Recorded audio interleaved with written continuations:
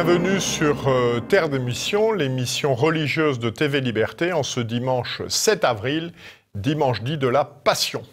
Trois invités dans notre émission. Tout d'abord, Laurent euh, Dandrieux, qui, euh, comme sacrifice de carême, euh, s'est astreint à la lecture de Sodoma, le livre de Frédéric Martel sur l'homosexualité dans l'Église, avec qui il a mené un débat dans Valeurs actuelles.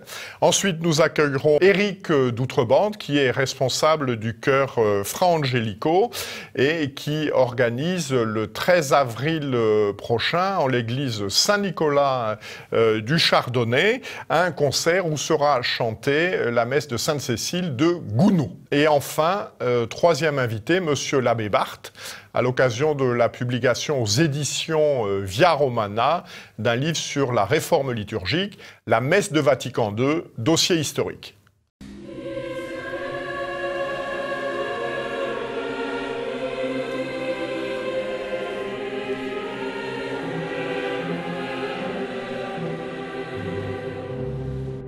Bonjour Laurent Dandrieux. Bonjour Jean-Pierre.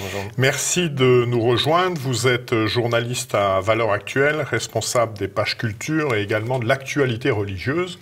Et vous avez publié dans un numéro euh, récent, le numéro du 14 au 20 mars, un entretien avec euh, Frédéric Martel à propos de son livre euh, Sodoma. Donc c'était une pénitence de carême puisque cela traite de l'homosexualité dans l'Église. Alors tout d'abord, Frédéric Martel, qui est-ce? Alors Frédéric Martel est un journaliste euh, qui a notamment une émission à France Culture, euh, sociologue et il faut le dire parce qu'il ne s'en cache pas non plus, euh, militant homosexuel très engagé dans dans la défense de cette cause auteur de plusieurs ouvrages qui tournent autour de, de, de, de ce sujet-là. Moi, j'avais beaucoup apprécié son premier livre qui s'appelait Le Rose et le Noir, qui était un récit de la façon dont la communauté homosexuelle s'était euh, constituée en France euh, et, avait gagné en visibilité depuis les années 60, autour de quelles stratégies, autour de quels enjeux. Et donc là, il s'est attaqué à un aspect effectivement très particulier de cette question gay, si je puis dire, qui est euh, la présence d'un réseau ou pas homosexuels dans l'Église et notamment dans ses sommets hiérarchiques. Alors, que contient ce livre copieux de 638 pages? Quelle est la thèse centrale du livre? Effectivement, c'est un livre très, très copieux qui repose sur une enquête de terrain, nous dit-il, menée pendant euh, cinq ans.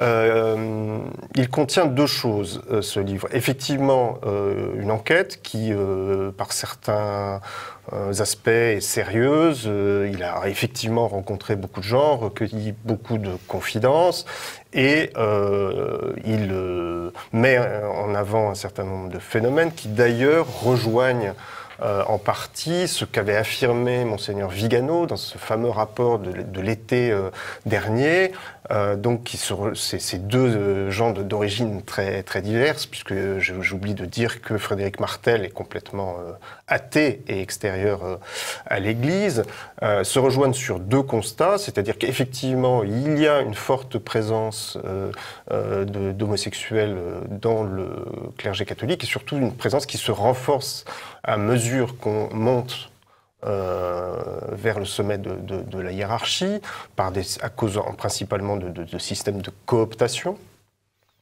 Et seconde chose, euh, cette présence homosexuelle euh, se traduit par deux phénomènes. D'abord, un travail euh, d'une certaine partie de ces homosexuels pour amener l'Église à euh, changer de position et de discours sur la morale sexuelle en général et sur l'homosexualité en particulier. Et deuxièmement, euh, un réseau euh, de complicité entre ce, appelons-le lobby gay, et les prédateurs sexuels dans l'Église sur le mode euh, je te tiens, tu me tiens par la barbichette, si je puis dire, pour un sujet euh, aussi, aussi grave. Euh, en gros, un, accord tacite consistant à dire si tu ne révèles pas mes, mes, mes, turpitudes de prédateur sexuel, eh bien, je ne révélerai pas publiquement ton homosexualité. L'embêtant, c'est que le livre de Frédéric Martel veut aussi démontrer que euh, la, les positions de l'Église sur l'homosexualité sont des positions totalement hypocrite, puisque l'Église, les personnes qui condamneraient euh, l'homosexualité au nom de l'Église seraient en fait euh, plus ou moins tous des homosexuels, plus ou moins pratiquants. Et donc, euh, cette, cette hypocrisie qu'il qu'il dénonce l'amène à dire, eh bien, cette condamnation de, de, l'homosexualité doit être révoquée puisqu'elle elle repose en fait sur un déni, sur un refoulé euh, homosexuel. Et évidemment, pour arriver à cette conclusion, à cette démonstration, il est obligé de démontrer que absolument tout le monde est homosexuel. Euh, donc, quand vous n'êtes pas déclaré, vous l'êtes caché. Quand vous n'êtes pas pratiquant, euh, même caché, euh, c'est que vous êtes refoulé. Et quand vous n'avez rien du tout et qu'il n'y a pas le moindre soupçon, le simple fait que vous euh, dénonciez l'homosexualité avec fermeté prouve bien qu'il y a quelque chose de suspect dans votre euh, donc là, on, est dans, la partie la plus militante et la plus euh, discutable, voire à certains moments franchement risible euh, de cette enquête. Alors justement, pouvez-vous nous rappeler, parce que ça n'est peut-être pas si évident que ça, quelle est la position traditionnelle de l'Église sur l'homosexualité et sur quoi elle repose?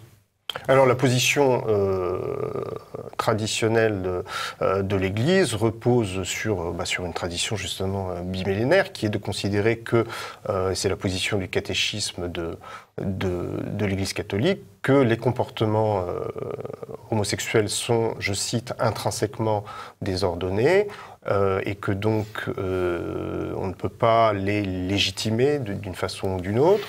Euh, et que cette condamnation de euh, l'homosexualité en, tant que, en tant que comportement doit s'accompagner d'une compassion euh, vis-à-vis de, de, de, et d'une attitude bienveillante vis-à-vis des personnes, évidemment, puisque l'Église condamne les péchés, mais pas les pécheurs, comme dans ce domaine-là, comme dans tous les autres. Alors, il en de cette, de cette position de principe qui a toujours été celle de l'Église à travers son histoire, eh bien, condamne, euh, découle pardon, un certain nombre de, conséquences pratiques qui là sont plus contemporaines, qui sont euh, notamment l'opposition très ferme de l'Église à toute forme de mariage homosexuel. L'Église réaffirme avec force que le mariage ne peut être que l'union d'un homme et d'une femme en, vue de la procréation. Et ça, c'est effectivement quelque chose qui scandalise euh, très fortement effectivement les, lobbies homosexuels et qui motive un certain nombre d'attaques euh, de leur part euh, contre l'Église. Je pense que cette, cet ouvrage de Frédéric Martel fait partie de, plus ou moins consciemment d'une forme d'offensive concertée, offensive à la fois extérieure euh, de, des, lobbies homosexuels qui veulent effectivement obtenir de l'Église qu'elle renonce à sa condamnation de l'homosexualité, mais aussi offensive intérieure. Je pense que Frédéric Martel, qui s'est vu ouvrir beaucoup, beaucoup de portes au sein de l'Église, a été aussi instrumentalisé par un certain nombre de prélats euh, qui veulent obtenir un changement de doctrine euh, de l'Église sur les questions de morale sexuelle et son alignement sur les positions du monde. Alors, à propos des positions du monde, à la fin de son entretien avec vous, tous les deux, Frédéric Martel affirme euh, Tous ceux qui dénoncent l'homosexualité sont désormais dans l'illégalité. Donc, nous sommes à la limite d'une menace. Est-ce que cela expliquerait le silence sur l'homosexualité qui a été fait, en particulier il y a quelques semaines, à l'occasion de la réunion des présidents des conférences épiscopales sur les abus sexuels à Rome? Je pense que ça peut expliquer en tout cas la timidité individuelle de tel ou tel sur le sujet. Euh, S'agissant du sommet euh, réuni au, au Vatican, euh, je pense qu'il y a un, un, un, double malaise sur cette question euh, au sommet de l'Église, qui est euh, d'une part effectivement la difficulté de dénoncer la dimension homosexuelle des, des, abus sexuels dans l'Église du fait que effectivement, euh, eh bien, ça oblige à se poser la question de la présence assez forte d'homosexuels au, sein, du clergé, ce qui est un sujet qui effectivement met beaucoup de gens euh, mal à l'aise, euh, et souvent pour des raisons personnelles malheureusement. La seconde chose, c'est que l'Église est déjà en but à une, une offensive médiatique très forte sur, sur cette question des, des, des, abus sexuels, et qu'on sent bien qu'elle n'a pas tellement envie euh, d'ouvrir un deuxième front sur cette question taboue entre toutes aujourd'hui euh, de l'homosexualité. C'est-à-dire que se mettre, euh, se lancer dans une analyse critique aujourd'hui de, de l'homosexualité, c'est effectivement encourir le risque d'une hostilité médiatique redoublée. Alors que l'Église est déjà empêtrée dans des affaires. Euh. Et donc il y a, ce il semble-t-il, ce calcul euh, peut-être un peu à court terme, qui est de dire, euh, mettons pas tout ça sur le, sur le tapis, on en parlera plus, plus tard quand les vents se seront un peu calmés.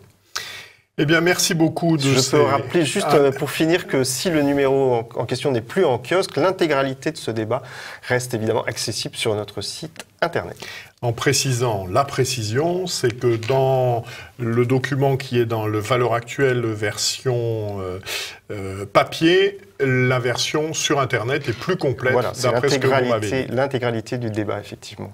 Merci beaucoup, Laurent. Merci à vous, Jean-Pierre.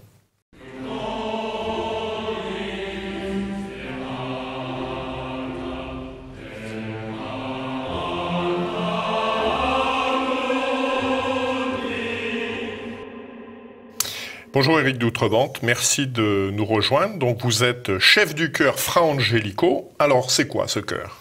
C'est un chœur qui a été créé par euh, votre serviteur et ma sœur Marie-Alix dans les années 80. C'était au départ une chorale d'étudiants.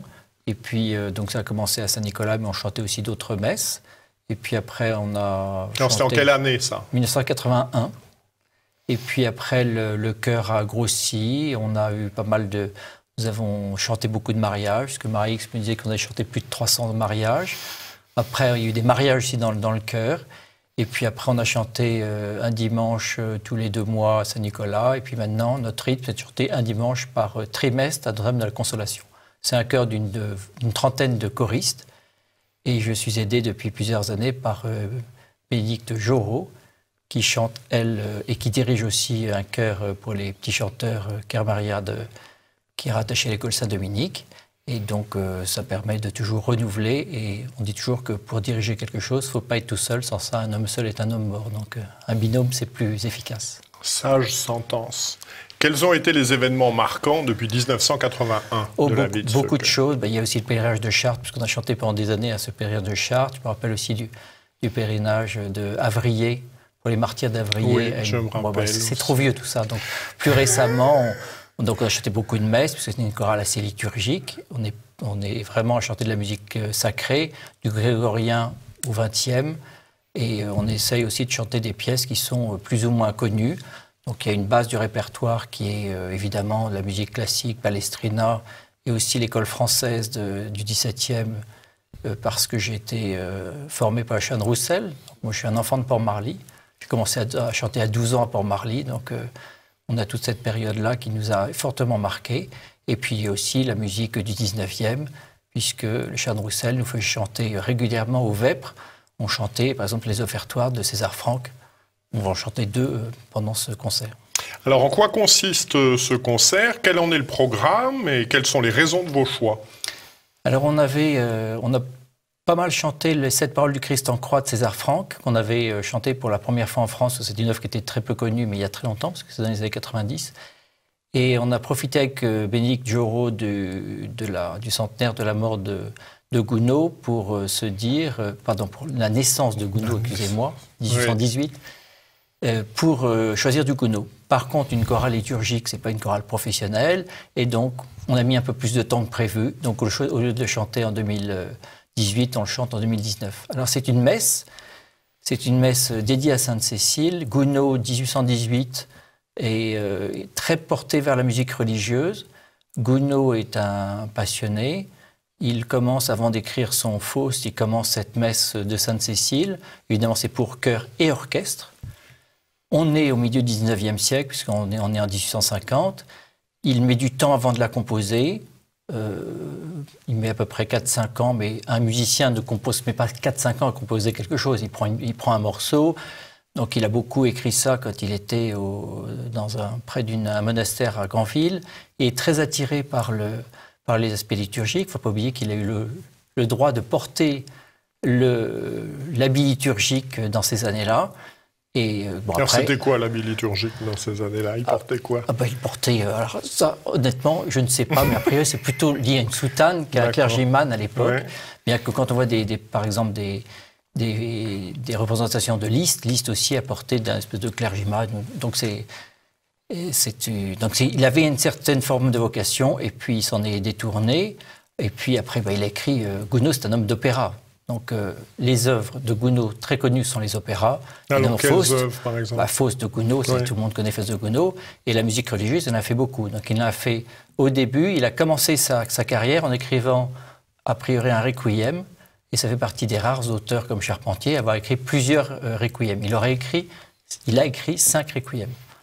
Donc il a écrit aussi pas mal de messes. Cette messe Sainte-Cécile est très intéressante parce que vous avez l'inspiration, euh, par exemple, palestrinienne dans certaines pièces, c'est-à-dire qu'on peut se dire, tiens, ça pourrait être très inspiré de Palestrina. Après, des inspirations euh, évidemment de Berlioz. Il ne faut pas oublier que c'est un, élève de Néder Beyer, donc il y a eu ces influences-là. À la fin de sa vie, le jour de son enterrement, il y avait Théodore Dubois et, Gabriel Fauré. Donc on est vraiment dans l'esprit du 19e.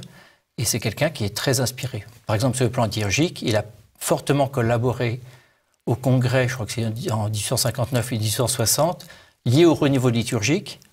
Et donc ça, c'est la réintroduction du chant grégorien. Et donc là, on est dans la période, on est avec Solem, euh, donc Guéranger. Donc c'est quelqu'un qui était très proche de tout cela. Il ne faut pas oublier aussi qu'il a été euh, élève euh, à Rome, donc c'était un grand prix de Rome. Donc il a entendu ce qui se passait euh, comme musique euh, au moment de, à Rome. Et c'est très important, c'est vraiment quelqu'un qui a fait la, la, le, la jointure entre la musique religieuse et aussi l'opéra, puisqu'il a excellé euh, dans, les, dans différents opéras pendant le 19e. Et alors, il y, aura également des offertoires de César Franck. Oui, alors César Franck, parce que c'est un, un, auteur qu'on aime bien, donc j'ai parlé de cette parole du Christ en croix. On a aussi chanté, déjà enregistré euh, plusieurs offertoires. Il y a le fameux Dextera Domini, c'est-à-dire mmh. Franck, euh, qu'on a. je dirais que c'est un peu nous qui l'avons lancé dans les pèlerinages de Chartres dans les années 83-84 avec Marie-Alix. Euh, on a le Dextera Domini. Là, on va chanter deux pièces. Le Domine non secundum, mmh. qui est une pièce liée au temps de pénitence. Et puis le Domine Deus, qui sera chanté en petit chœur par les trois solistes. Ce sont des pièces courtes, mais très intérieures de César Franck. Et César Franck, comme Gounod, alors, il est c'est de la musique qui est différente, nettement moins riche en termes de symphonique. On est loin. Euh, Gounod se rapproche plus de Berlioz. Euh, César Franck est, plus, plus sobre. Euh, mais il a fait de très belle musique, c'est bien de la musique religieuse que de la musique symphonique, ou aussi de la musique de piano, ou de la musique d'orgue, puisque tout le monde connaît les, les, pièces d'orgue de, César Franck. Et l'intérêt de, de, cela, c'est d'avoir une pièce importante avec cette cette messe de Sainte-Cécile et puis deux offertoires de César Franck pour avoir un, concert équilibré. Alors je dirais que c'est un concert qui va être quand même assez euh, porté vers le, vers le spirituel. Pour ceux, j'espère que la prière sera là pour les uns et pour les autres. Et c'est vraiment euh, un hommage à, la musique sacrée, euh, qui, et comme on chante du grégorien au XXe, dans cette messe de Gounod, il y a, je répète, aussi bien du Palestrina que du plein chant. Le jour de l'enterrement de Gounod, il a demandé une messe avec du plein chant, donc avec du grégorien. Donc, euh, comme quoi il recherchait le dépouillement à la fin de sa vie. J'espère qu'on en sera. Alors, pouvez-vous nous donner des renseignements pratiques, soit pour vous rejoindre si le chœur est accessible à des, à des candidats, soit pour ce concert lui-même Alors, le concert, c'est à l'église Saint-Nicolas de Chardonnay, qui est dans le, dans le 5e, rue des Bernardins. C'est à 20h un samedi. On a fait exprès de mettre 20h pour laisser les enfants venir ou les personnes plus âgées. Et euh, donc c'est le samedi 13 avril. Samedi 13 avril à Saint-Nicolas.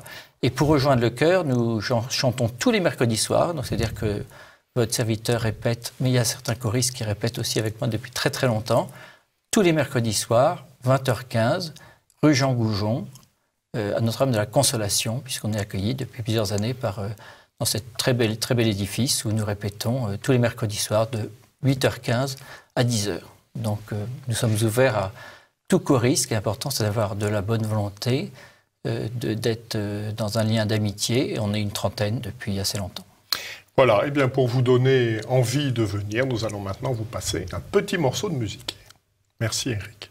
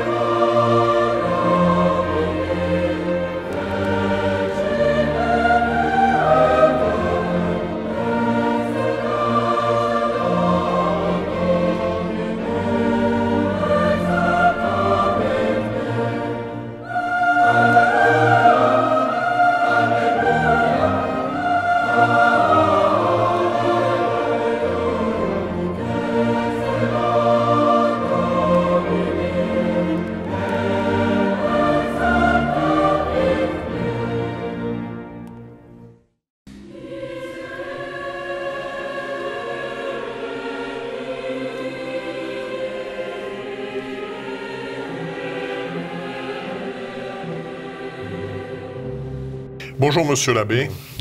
Vous venez de publier aux éditions Via Romana la messe de Vatican II, dossier historique. L'Église a connu bien des réformes dans son histoire, la réforme grégorienne, la réforme tridentine. Qu'est-ce qui fait l'originalité de la réforme liturgique dont vous traitez dans votre ouvrage?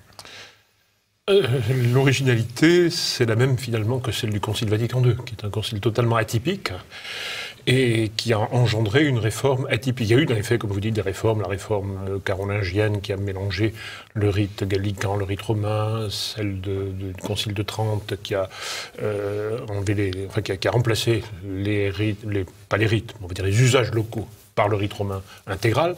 Celle-là se veut une, euh, un aggiornamento, comme le Concile, une adaptation, une mise à jour une adaptation à, notre époque, avec cette euh, difficulté, tant pour le Concile que pour la réforme, que notre époque, euh, ce n'est pas une culture euh, comme d'autres, auxquelles on pourrait s'adapter en effet, prendre ça, mais c'est une, une anticulture, en tout cas une culture anti-religieuse, et qui s'est de fait construite contre le catholicisme.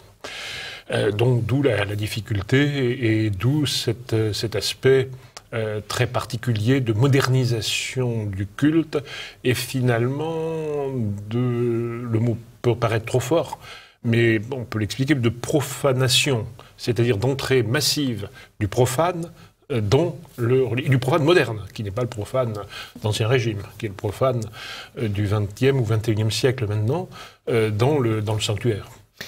Alors, au-delà de cette volonté d'aggiornamento, d'adaptation de la liturgie au monde moderne, quels sont les autres principes fondateurs de cette réforme? Oui, ça c'est vraiment le... Très... Euh, disons que la, réforme a été préparée de longue date, euh, de longue date, essentiellement depuis les années 50 par le mouvement liturgique, celui-là surtout, celui des années 50. Donc un ensemble de, professeurs de liturgie, d'ecclésiastiques, qui ont formé une un véritable euh, comment dire, groupe de pression hein, dans l'Église avec toutes sortes de congrès et autres, deux idées étaient euh, dans leur tête hein, qui vont qui s'adaptaient sur un certain nombre de, choses pratiques.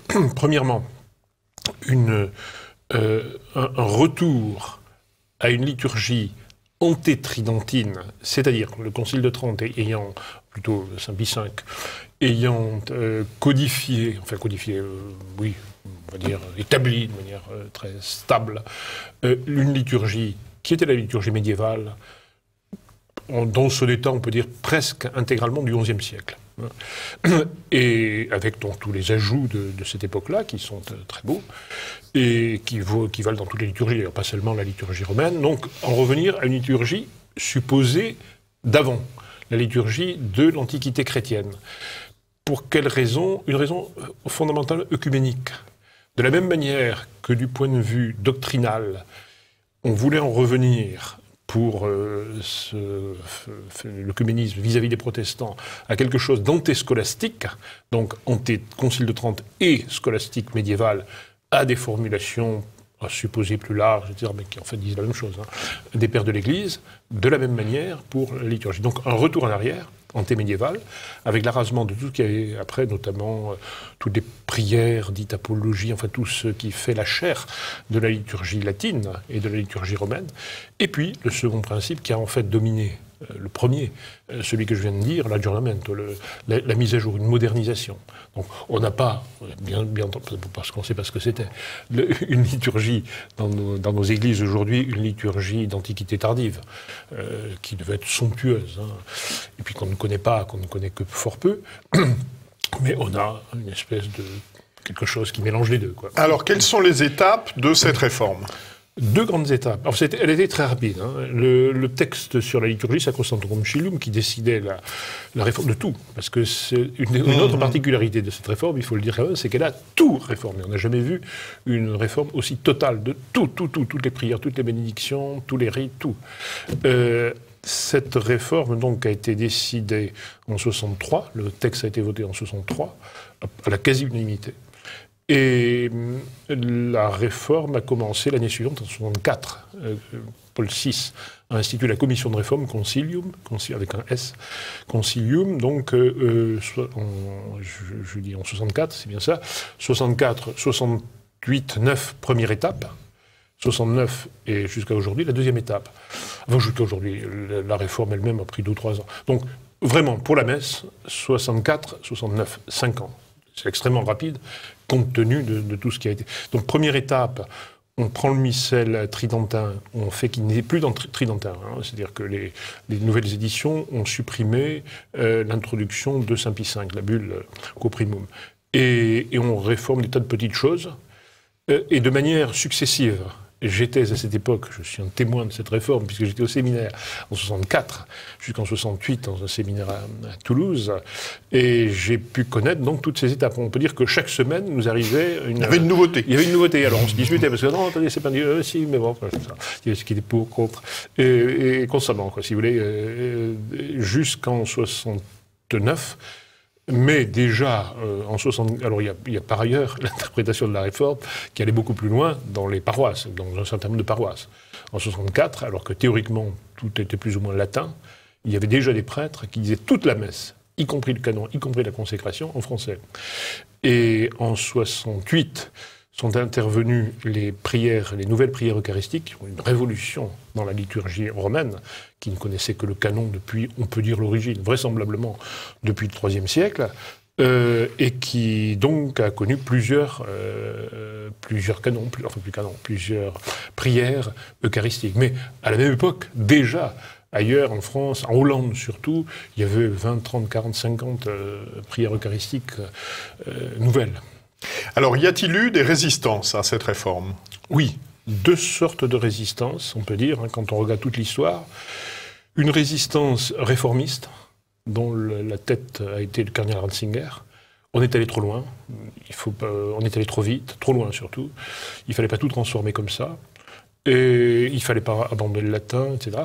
Et une résistance de non-réception, on va dire, dont la tête a été Monseigneur Lefebvre, dans un second temps. hein. Euh, puisque dans un premier temps, enfin, il était déjà là, si on veut, mais il y a eu les, le bref examen de critique des cardinaux Taviani et Bacci, il y a eu sur le terrain, en France notamment, il y avait toujours dans tout diocèse, trois, quatre, quatre, euh, euh, prêtres qui disaient toujours la messe, la messe traditionnelle. Et qui, quant à... donc, quant à la, la- la première, euh, réf- la, première résistance, celle de réformiste, elle était immédiate. Le cardinal Ratzinger, qui n'était pas encore cardinal, a exprimé son mal-être, on peut dire, très fortement, au Katholikentag, qui est une réunion de tout le catholicisme allemand, en 66. Voilà, et les deux ont continué, mais la, celle de non-réception étant la plus forte et la plus, euh, la plus pensée, on va dire. Plus hein. visible. La plus visible, c'est ça. Et entre-temps, la seconde d'ailleurs. Donc le cardinal Ratzinger, qui est un cas un peu à part, va être euh, évidemment s'appuyer beaucoup sur la non-réception pour essayer de faire avancer ses idées de, de restauration. Alors, quel est le bilan aujourd'hui de, de cette réforme? Que pensent les autorités romaines? Il faut continuer Il faut réformer la réforme Il faut revenir à ce qui se passait avant Où en est-on? Oui, il y a plusieurs questions. Là. Que pensent les autorités romaines? Est une chose, quel est le bilan? Mm. Ça est une autre. Les autorités romaines aujourd'hui pensent que c'est bien, il faut continuer. Donc euh, on a, si vous voulez, au pouvoir à Rome maintenant une, euh, euh, ben, des- des gens très réformistes, hein, mais qui ne, qui ne pensent pas qu'il faille avancer, euh, aller plus loin encore dans la réforme. Ça, ça se fait tout seul. hein. Euh, mais on ne verra pas, à mon avis, compte tenu de l'opposition de non-réception, compte tenu aussi de tout ce qui s'est passé, on ne verra pas de nouveaux textes, mais on verra, on continuera. Euh, quant au bilan euh, proprement dit, bah, il faut bien dire les choses comme elles sont, il est catastrophique, tout, le monde est d'accord. je dis bien tout le monde, hein. euh, y compris peut-être même ceux qui, les, plus réformistes, qui se demandent pourquoi ça a si mal marché. Les églises sont vides, pas nécessairement à cause de la réforme, en tout cas la réforme ne les a pas gardés dans les églises, hein, ne les a pas retenus, les séminaires, etc. Euh, donc ça, ça ne et, et, le catholicisme qui reste, on le voit en France, qui n'est pas nécessairement un catholicisme traditionnel, euh, stricto sensu. sensu, avec trois étoiles, si vous voulez, mais euh, est un catholicisme identitaire qui, ne se, euh, qui aimerait une liturgie beaucoup plus, beaucoup plus traditionnelle, on va dire. Merci bien, monsieur l'abbé, de ces précisions. Donc, je vous renvoie au livre de l'abbé Barthes, La messe de Vatican II, dossier historique. C'est tout à fait passionnant et je crois que ça, ça permet d'éclairer, de comprendre la situation dans laquelle nous nous trouvons. Et puis, cela peut également être complété, bien sûr, par le bref examen critique des cardinaux Taviani et Bacci, qui est un texte de l'Église enseignante et qui est au cœur euh, de ces débats. Merci beaucoup. Vous retrouverez donc euh, pour notre prochaine émission notre ami euh, Guillaume de Thieulois le 14 avril prochain. Merci beaucoup.